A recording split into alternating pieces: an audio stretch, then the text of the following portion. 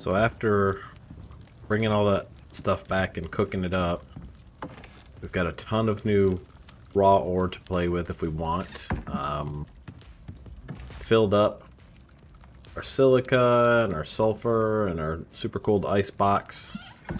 And of course, tons of new scoria and obsidian. So we got a lot out of that.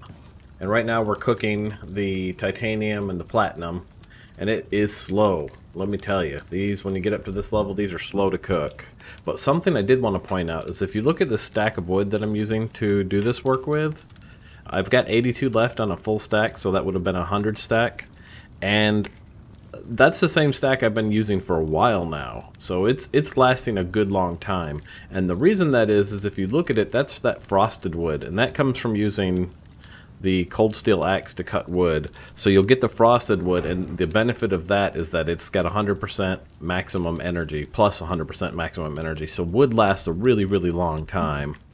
So if you've got these frosted tools, they, they're just, right now, they just seem to be the best. And so we've still got a bunch of frosted wood up here and some regular wood. One thing I think I'm going to do is I'm going to go cutting more wood here shortly because these torches, these wall torches that we put up, they've uh, they've been up since we built this out and they're only down to 25 wood at this point. So they've only used 75 wood. So I was thinking if I could get a bunch of that frosted wood and load these guys up refill them on frosted wood they just go forever basically. Um, so I'm gonna be letting that titanium cook for a while and uh, I think I'm gonna build out the, the next floor up here so that we have uh, we can start separating and spreading this stuff out. Everything's kind of a mess in here right now, so we're gonna build the second floor out. I probably even take it out that way some, so we might do some concrete stuff out in the front here. So let me get to work on that, and I will bring you back so you can see how it looks when I get that done.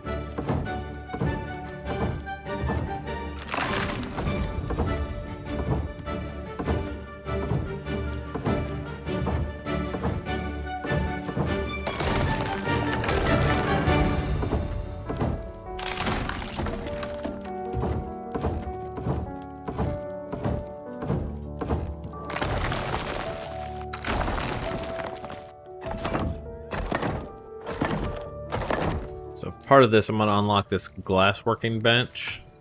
We're going to go ahead and take the glass building set along with the trim and that. That way we can build glass as well. Alright, glass working bench done. Again, we're just going to toss it down for a moment. We will be fixing this all up so it looks nice in here shortly. For now, I guess like right here is fine. And then if we wanted to make glass walls, we would need glass, we would need iron, and we would need epoxy. Let's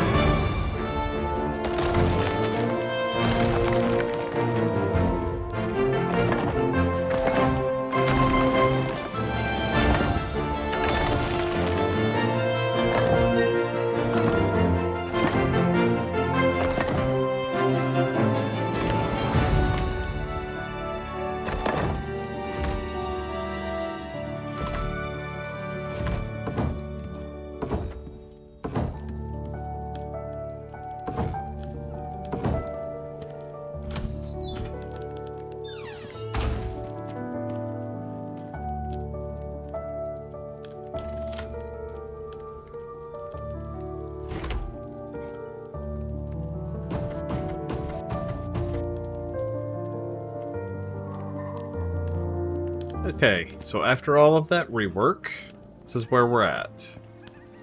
We've got all this kind of redone in here, stone. I've got a concrete face, glass for the upper windows there. Come in this room, all of our ores are laid out here, the different kinds of ore that we've discovered. We've got a couple of furnaces here, still cooking iron after that last run.